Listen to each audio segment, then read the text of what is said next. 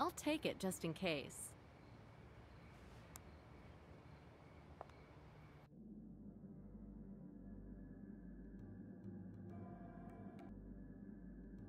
This was once a modern station.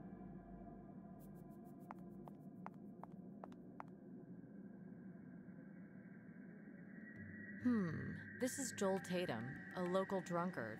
Used to sleep around here. The autopsy will confirm Tatum's time of death. Unfortunately, Akero will probably dodge this one too. Are the thugs recruiting now?